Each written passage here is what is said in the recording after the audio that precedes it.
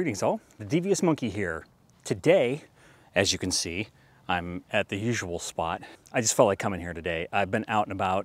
I decided to go and do something a little bit different, so I went to Mount Trashmore and I just filmed everything that was going on there.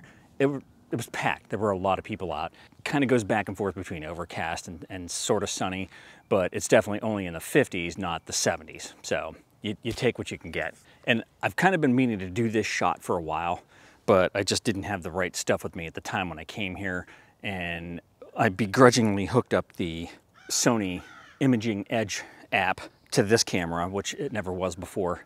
And it it's just as crappy as it was before. So very, very laggy and spotty and stuff. So I've been trying to like walk along this damn fallen tree. I have to keep going back to move the camera and all that kind of stuff because it's just not quite right. You think it's it's in sync, but then it isn't and it freezes and all that kind of stuff. So, okay, enough about that.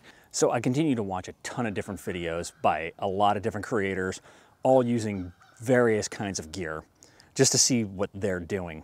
One of the things that I watched last night, uh, Vic Berry, he shoots pretty much on, on a ZV-1. He's got a lot of great videos that, that give a lot of good tips and, and hints and, uh, you know, all kinds, of, all kinds of good stuff. Well, last night he had said something that sparked a memory in me from when I first started doing this, meaning doing video instead of just still pictures. He said that the average shot duration is about nine seconds, meaning your, your framing, your shot should change every nine seconds or you're gonna lose your audience. And I thought that was interesting because part of my problem when I very first started shooting video was that I did everything in one long, horrible take. And it was all shaky. I mean, back then there was no stabilization and all that kind of stuff. And if you wanted to get a gimbal, it was like 30 grand. I started, as I always do with things that I get interested in, immersing myself in that world. And I went through and started paying attention to things like watching movies and all that kind of stuff. And especially, and I've mentioned this before, in one of my videos that on IMDb, you can actually see in the information about whatever movie is that it gives you the average shot duration. And I was blown away by the fact that, it, like most of these movies, they were all under five seconds. Some of them were two, some of them were three seconds, meaning you're watching this movie and you're immersed in it and you don't really realize what's going on, but you're, you're watching hundreds, thousands of little clips edited together to make this movie. So I started paying attention to it and I, I would watch a movie and I would start counting to myself, you know, all right, shot started 1,002, oh, it changed already, 1,002, you know, and I kept doing that.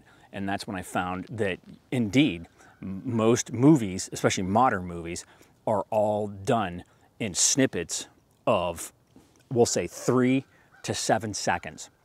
So I kind of bought into the fact that when Vic mentioned that the average shot duration is nine seconds, or you start to lose your audience, that you have to do something at that nine second mark to switch things up. Whether you creep in, creep out, change settings, do, you know, you gotta do something that changes just you sitting there talking and doing all this stuff.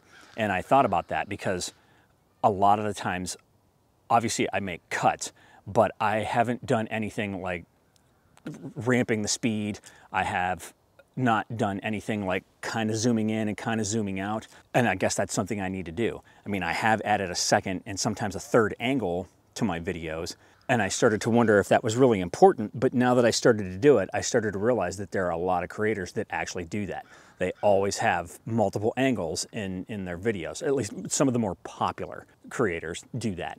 And I thought, okay, well, I'm on the right road. You know, as I continue this journey of learning how to, how to do this, I have started to incorporate that kind of stuff. Now that my studio's set up and I have all this gear that I know how to use properly, I have started to try to up my game by adding in the multiple angles and apparently I need to start learning about speed ramping and taking what's in frame and kind of moving in or moving out and that's where that's where I, I hit the conundrum of I didn't want to shoot in 4K anymore.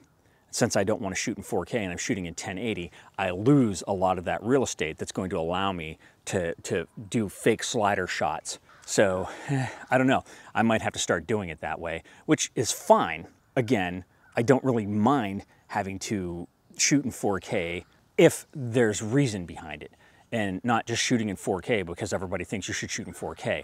I, I mean, my 1080 videos, since I moved back to 1080, I haven't had any problems whatsoever. I haven't had anybody give me crap about what it looks like or, or anything like that. And it has saved me a ton of time, both in editing and rendering and uploading to YouTube. I, I don't want to just have to keep adding a hard drive every year because I'm blowing through it, shooting a bunch of footage, especially a bunch of footage that isn't probably ever to see the light of day. Remember, like I said, I probably shoot two hours worth of video for every 10 to 15 minutes that you actually see. That's pretty much all I wanted to blather on about today. I wanted to come out here and do this.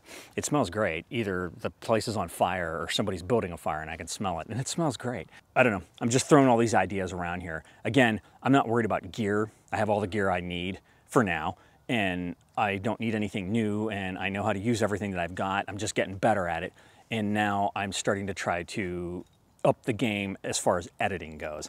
Give me some suggestions. Tell me if there's a program out there you think I should learn, if there's stuff that I should be doing, if there's stuff I should stop doing, and I'll kind of see if I can incorporate it into the into the swing of things.